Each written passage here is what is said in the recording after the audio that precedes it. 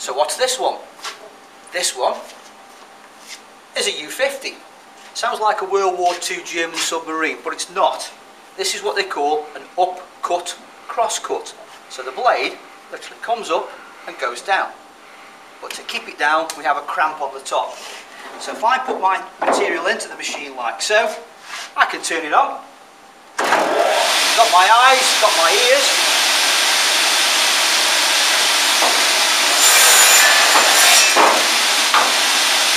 And you can see how easy it is to cut.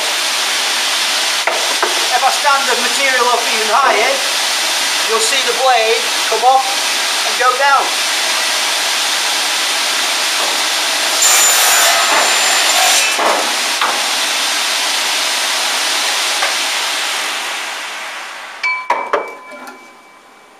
How simple is that?